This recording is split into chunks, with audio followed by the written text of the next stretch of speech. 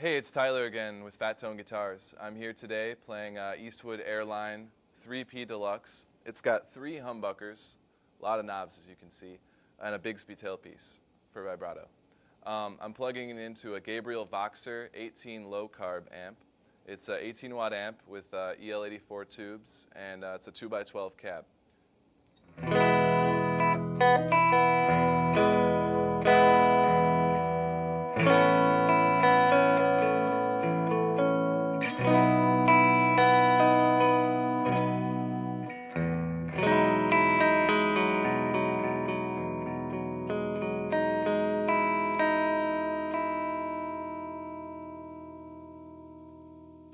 Okay, now I'm gonna try putting it through an Empress Superdelay digital delay pedal. It's, it's a Swiss Army delay pedal. It can do tape echo, um, your regular old delay, and it's got eight presets.